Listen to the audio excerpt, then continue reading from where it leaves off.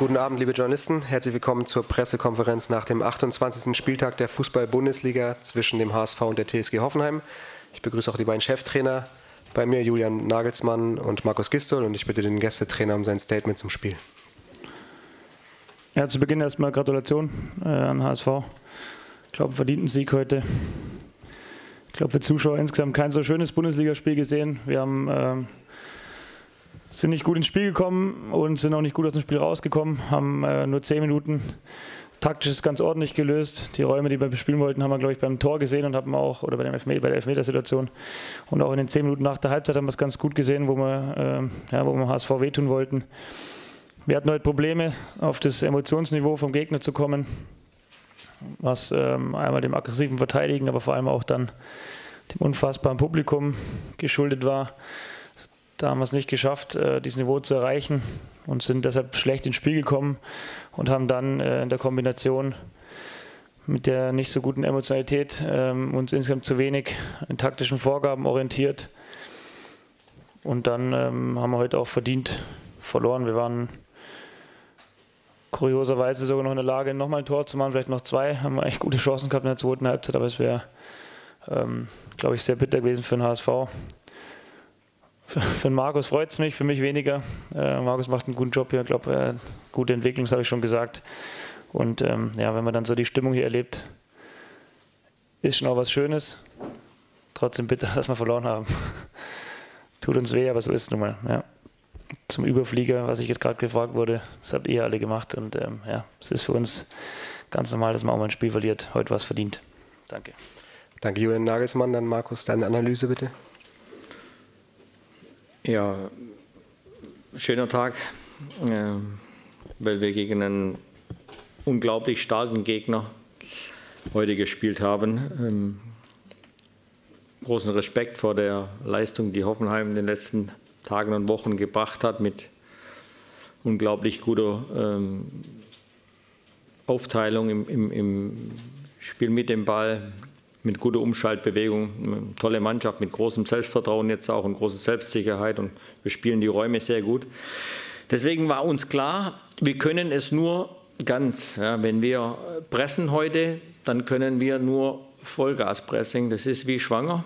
Ja, schwanger gibt es auch nicht halb, sondern nur ganz. Und das haben wir heute so gemacht. Ne? Wir haben wirklich komplett bis zur letzten Reihe intensivst durchverteidigt. Auch natürlich mit dem Risiko, dass der Gegner dann mal auch durchspielen kann und es ähm, zu einer gefährlichen Situation kommen kann.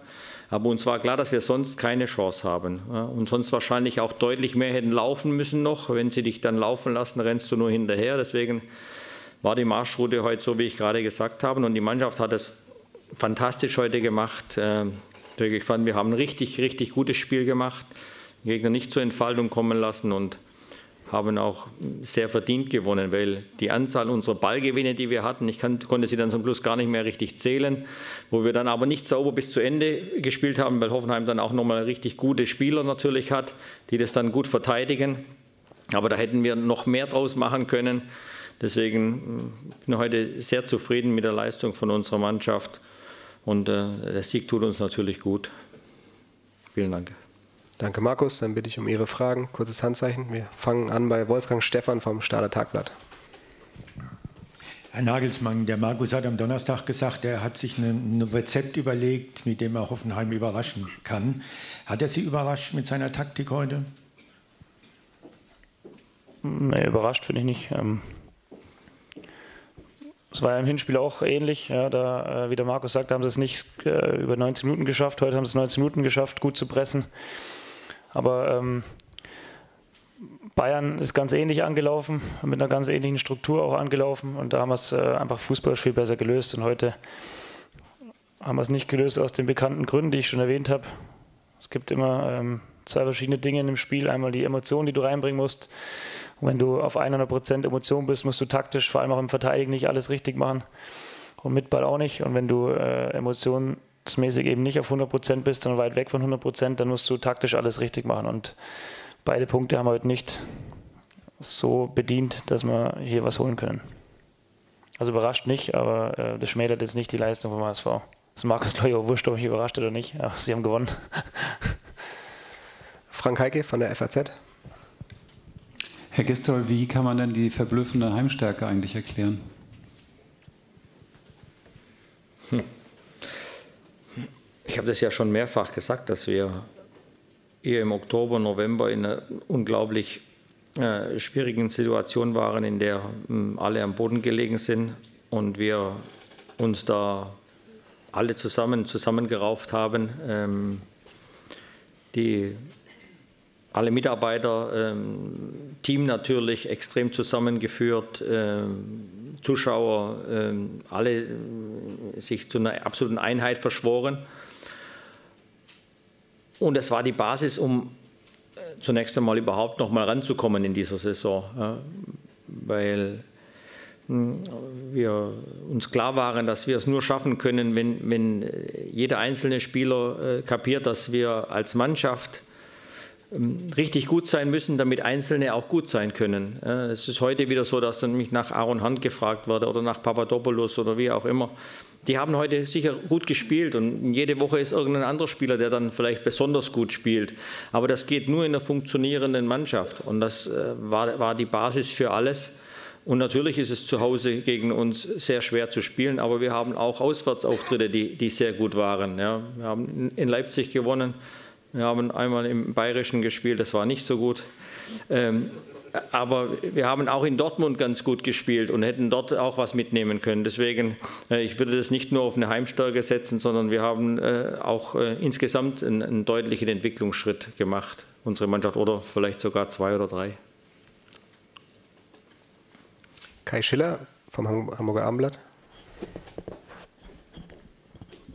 Sie haben gesagt, Sie werden nach Hand oder Papadopoulos gefragt, dann frage ich mal nach Martinia. Der war lange nicht dabei und äh, ist ja eigentlich ein schwieriges Spiel für den Torwart gewesen, weil er lange Zeit sich auch nicht wirklich auszeichnen konnte und dann am Ende aber da war.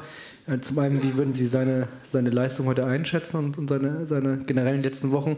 Und zum anderen, was ist ähm, mit, mit René Adler? Also warum, er hat jetzt doch eine angebrochene Rippe, eine gebrochene Rippe. Hat man das erst später entdeckt oder war das vorher schon klar? Oder ähm, genau, vielleicht können Sie das erklären. Also erstmal zu René. Wir haben natürlich nach dem äh, äh, Vorfall oder nach dem Zusammenprall letzte Woche auch schon ein Röntgenbild gemacht, aber wir haben halt jetzt nochmal ein etwas besseres Bild gemacht und da sieht man es, aber das kam erst dahin, äh, weil René im ersten Moment gesagt hat, es geht, ja, es funktioniert und da haben wir das natürlich auch nicht zu 100 Prozent gesehen, dass wir da nochmal weiter untersuchen müssen. Äh, nur gestern im Training haben wir halt in, die Vollbelastung rein und dann muss ein Torwart natürlich auch schon sich extrem strecken, um, um dann auch das dann zu testen und dann mit voller Wucht draufgehen. Da hat man halt gemerkt, es geht nicht. Ja. Und dann haben wir äh, nähere Untersuchungen gemacht und dann kam leider äh, die Diagnose für ihn, dass es doch ein bisschen schlimmer ist. Aber das, was, was Christian Martenia dann äh, macht, das ist das, was uns auszeichnet. Ja, egal, wenn wir haben jetzt nicht nur auf der Torwartposition, sondern auch auf andere Positionen immer wieder die Wechsel drin. Äh, aber die Jungs, die dann reinspringen, ja, die machen es gut. Ja, und die haben unser volles Vertrauen. Die dürfen auch mal einen Fehler machen. Das ist auch kein Problem, weil sie in der Gemeinschaft aufgefangen sind, weil sie miteinander funktionieren. Und deswegen äh, war es für mich ich hatte ganz ehrlich gesagt keine Bedenken, dass Chris heute kein gutes Spiel macht. Oder ein gutes Spiel macht, hatte ich keine Bedenken, sondern mir war klar, der, wird funktionieren. Ja, und das hat er gleich so gemacht. Er stand drin und ich habe einmal nach hinten geschaut und dachte, hm, alles gut, ja. Britta Kerhan von NDR 90,3. Genau. Der HSV hat jetzt vier Punkte Vorsprung auf einen Relegationsplatz. Vier Punkte, das klingt jetzt für die Verhältnisse der letzten Wochen relativ viel. Ist das jetzt für Sie die größte Gefahr, in Anführungsstrichen, dass Sie Probleme haben, die Spannung zu halten im Team? Oder ist die Mannschaft, haben Sie die inzwischen so weit im Griff, dass da gar keine Gefahr aufkommt? Glauben Sie, dass wir in einer Situation sind, wo wir irgendwie Spannung verlieren könnten? Also bei aller Liebe, äh, dieses Thema können Sie ganz schnell zumachen Vergessen Sie die Tabelle, schauen Sie am besten auch nicht drauf, sondern lassen Sie uns Woche für Woche nur arbeiten und vernünftig äh, schaffen, weil hier wird keine Spannung verlieren. Äh, das ist ganz sicher. Britta Körber von der DPA.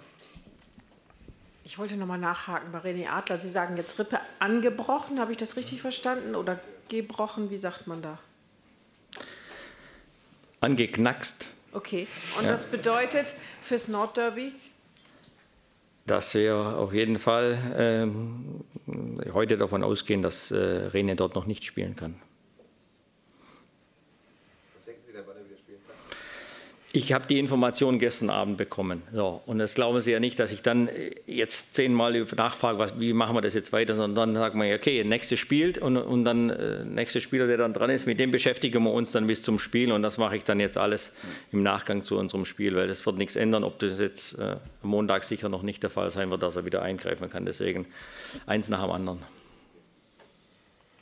Wolfgang Stefan vom Starter Tageblatt nochmal. Herr Nagelsmann, ich habe noch mal eine Frage an Sie. Sie haben gesagt, das ist unfassbare Publikum hier. Wenn Sie vielleicht da noch mal so eine Einschätzung geben könnten im Vergleich zu anderen Stadien. Was, ist, was war hier so unfassbar? Ich glaube, es ist kein ganz Alleinstellungsmerkmal, aber es ist schon besonders. Ähm, man merkt es dann an so Fußball-alltäglichen Dingen. Ähm, wenn ein Spieler vom HSV ein kleines Foul passiert, dann sind einfach solche Emotionen auf den Rängen da die überschwappen auf äh, alle Beteiligten, von Trainer bis Schiedsrichter bis vierter Offizieller, der äh, mich dann einfangen muss und so weiter. Und ja, da kann dann, wie gesagt, wenn du als Gegner dann nicht dieses Niveau erreichst, was die Emotionen angeht, ähm, kann es schon ein paar Prozentpunkte ausmachen, dass die Heimmannschaft dann äh, ja, besser ist als, als der Gast. Und ich glaube, es war sehr, sehr laut, die ersten Viertelstunde noch nicht so. Aber dann irgendwann, glaube ich, war es sehr schwer, die Spieler auch zu erreichen, weil einfach eine unglaubliche Lautstärke herrschte. Gibt es noch weitere Fragen? Kai-Uwe Hesse von der Bildzeitung in der ersten Reihe. Jetzt haben Sie ja unten schon viel zur Hand gesagt. Vielleicht können Sie hier auch noch mal ein bisschen was sagen, Ihr neuer Torjäger. Ähm bin ja schon mal gefragt worden nach ihm vor, vor ein paar Tagen, bevor er verletzt war, hat das auch schon gut gemacht. Hm.